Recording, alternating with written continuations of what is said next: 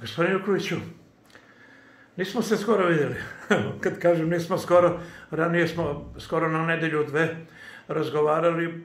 Najprej da, da vas pitam, gde smo, što se rasvete tiče, ljudi su, e, da tako kažem, stali, sve manje ima poziva, sve manje ima prigovora, da li to znači da su zadovoljni ili nešto drugo, to je njihova stvar. Ajde da podvučemo neku liniju. U ovom trenutku smo u toj nekoj završnoj fazi tih izvođenja, izvođenja radova, zbog čega po prirodi posla, znači pri završetku ostaju uslovno rečeno ta mesta koja su teža za pristup što se tiče znači zamena i ugradnje svetiljki i samim tim sama dinamika ostaje ista, ali količina na dnevnom nivou zamenjenih svetiljki je manja u odnosu na, na početak. Naše projekcije govore da će negde verovatno da dogledno vreme, par nedelja, da se taj deo posla završi. Drugi deo koji je isto podjednako bitan jeste izmešćanje tih ormara. Prema informacijama trebalo je da počne od ponedeljka. Nakon završetka svih tih tehničkih stvari u prostoru vrši se primopredaja radova, a, određena određena dokumentacija je neophodna da se odradi i nakon toga, što se tiče statusa projekta, prelazi se u sledeću fazu, fazu garantovanja, kada je obaveza privatnog partnera da garantuje uštede, garantuje funkcionisanje sistema, a naša obaveza da redovno plaćamo račune za struju i naknadu privatnom partneru. Da li to znači da smo na samom kraju, da li to znači da ono što je urađeno, urađeno, ne znam u vašoj svesci da li ima još nekih prigovora, gde smo što se tiče tako generalnog utiska? Ja sam više puta rekao, ovo je postupak koji traje. Znači, ovo je jedna faza koja se privršava. A, naša želja je da, da krene to partnerstvo i da u okviru tog partnerstva unapređujemo sistem. Znači, činjenica da od, od početne zamisli, gde smo imali ideju da pokrijemo sva naseljena mesta, zbog objektivnih okolnosti smo korigovali u hodu a, a rešenje i sada ćemo imati znači, sistem a, na koji će se prostirati to javno-privatno partnerstvo, gradsko naselje i nekih 30 sela. Ostaće nepokriveno tu nekih 30 40 sela i nekih vikend naselja, koje će i dalje imati javnu rasvetu, koja će biti, uslovno rečeno, u ingerenciji potpunoj ingerenciji grada, znači preko komunalca. E, moram da vas pitam sad, recimo ako se desi da je pot incidentna uslovna situacija, da je potrebno da oni reaguju, da li to znači da je ugovor predvideo i to, njihove intervencije posle završenog posla? To, to je pod pojmom garantovanje, znači njihove obaveze održavanje Tako? funkcionalnosti tog sistema. Funkcionalnost podrazumeva da u određenom realnom vremenu nakon prijave kvarova njihove ekipe izađu i otklone kvar, znači da uspostave, uspostave javnu rasvetu, znači da se svetiljke rade. Taj sistem će biti tek uspostavljen do kraja. Sada se imamo naznake da se počinje da se uspostavlja. Princip će biti da postoji call centar, da li telefonski, da li internet, gde će naši građani direktno moći da, da vrše prijavu preko tih brojeva svetiljki koji su na svakoj svetiljki. Dakle, nastavljamo saradnju dalje. Da. Što se tiče tog dela. E sad, moram da vas pitam nešto što sam dobio informaciju i neću da okolišam.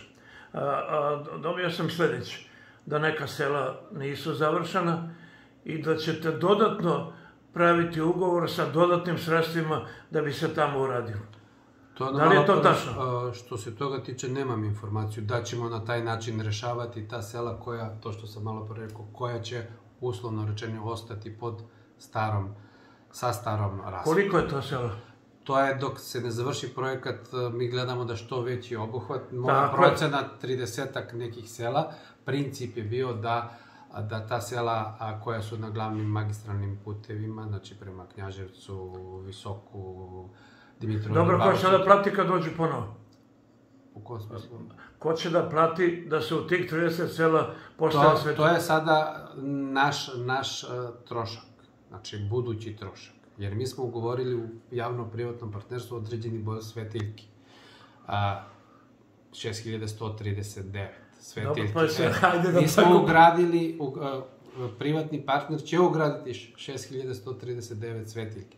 Međutim, A, mi a, imamo potrebu tačno što znati, ali nekih oko 8000 svetiljki. A zašto nije to ušlo. Zato što je osnovni, mi smo radili katastar 2017. i 18. Umeđu vremenu, znači život je išao svojim tokom, imali smo ubacivanje svetiljki u, u, u sistemu, znači nove ulice, do... Vi ste radili po tom katastru? Jer kad se, ovo je postupak koji traje, nažalost, više godina javno-privatno, i mi smo morali da krenemo od nečega. Nismo mogli u toku postupka da vršimo korekcije tog broja.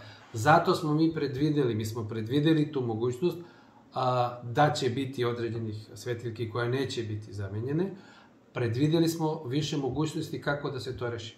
Zakon dozvoljava da se i sam a, javni ugovor između nas i privatnog partnera proširi. Dobro. To je jedna mogućnost. Druga mogućnost da mi direktno investiramo, znači kao grad u tim svetlim, gde će ti sistemi, ta sela neće imati veze sa privatnim partnerom, ali će biti a, svetiljke istog tipa i istog karakteristika. Dakle, vaš odgovor je nije došlo do Nije, nismo još došli, čak mi, iskreno kažem, dok ne završimo, a, partner dok ne ugradi zadnju 6139. svetiljku, mi nećemo znati koliko tačno ostaje. Da. Kada znamo, onda imamo više mogućnosti, znači otvorenu liniju, ako procenimo da nam da nam se isplati da, da je to odgovarajući način, možemo i sa partnerom da proširujemo ili možemo druge načine da, Dobre. da rešavamo.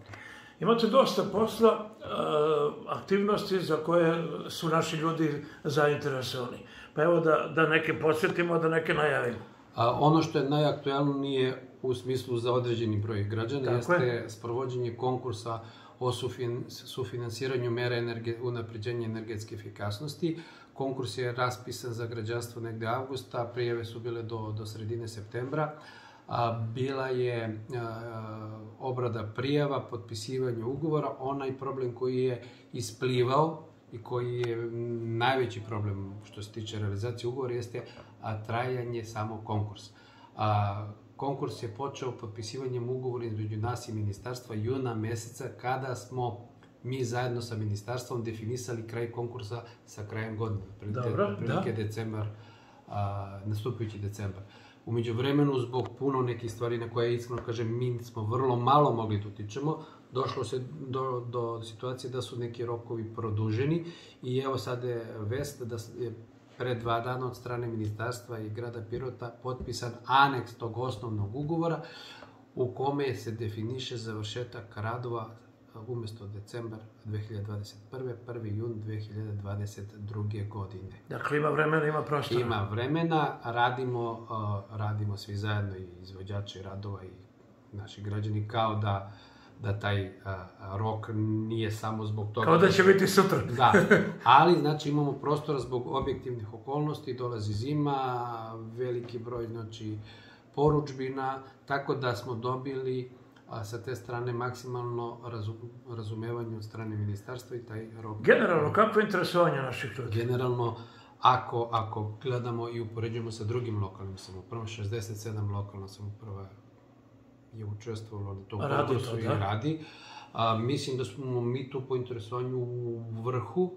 A, imali smo 137 prijava u ovom trenutku, znači post, kroz taj postupak eliminacije i odustanak znači određenih ljudi koji su dobili pravo, ali su iz nekih razloga odustali. U ovom trenutku mogu kažem da imamo potpisanih 108 ili 109 ugovora. Znači, toliko se kreće u realizaciju. Teoretski postoji mogućnost da još uvek neko... Kad očekujete da se radi? A, mi očekujemo prve rezultate već početkom decembra. Znači, početkom decembra da, da počne? određeni, određeni uh, korisnici već dođu kod nas sa, sa svojim partnerima. Koliko to para stoji iza svega ovoga? Iza svega ovoga stoji od strane države oko 9 miliona, bilo opredeljeno 10, ali oko 9, 4,5 sa lokala, 4,5 ministarstva i otprilike toliko sa strane građana, znači red veličine 18-19 miliona dinara, red veličine investicije. Od toga kajem to su finansiranje A, ono što je vrlo bitno, i stalno ponavljamo, da ovaj prvi konkurs uspe, da sva iskustva pozitivna i negativna koje imamo, a, a, prepoznamo i da sledeći konkurs za koji imamo ozbiljne najave od strane ministarstva, vjerojatno će da bude raspisan Kad posle ove godine, pretpostavljam, jer je specifično zato što je sam konkurs sadrži se iz uh, tri celine. Prvo mi konkurišemo kod ministarstva za sredstva, pa onda mi raspisujemo konkurs za privredne subjekte i na kraju dolazi konkurs za građane. Imate još neke aktivnosti? Principu, što se tiče gradske uprave oblasti energetike, ono je onaj strateški a, a, pravac koji je otprilike na nivou Da. grada okrećemo, znači... u- Šta ćemo sa Knjaževačkom ulicom? Ja vas uvek pitam. Knjaževačka ulica, Što se tiče postavljanja... je gotova, to sam Da. rekao. A, treba da se vide sad je period formiranja tih planova za investicije za iduću godinu. Ako postoje mogućnosti, verovatno će biti Nisam vas pitao, vraćam vas na prvo pitanje. Uh, ušteda, naravno, to me uvek interesuje Da. za ovo vreme. Kako je, da li se vidi ušteda?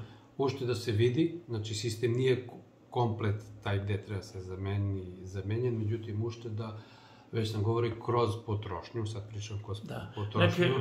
Parametri. paralel, znači da, da već imamo septembar, možemo da poređujemo sa septembrom prošle godine, oktobar sa oktobrom prošle godine, pošto je to različita potrošnja zbog specifičnosti oktobra ima veću potrošnju javne rasvete nego septembar, neki, neke procene su da su uštede oko 60 do 65 procenata sada sa nezavršenim ovim radovima. To pričam u potrošnji ele- električne energije, međutim onaj novi moment od letos gde je Kroz dinare, koliko to otprilike izgleda? otprilike ta, taj trošak možda je malo veći. Zato što smo jula meseca imali a, a, cenu struje što se tiče gradske uprave nekih 60% veću od jula je što se tiče javne rasvete.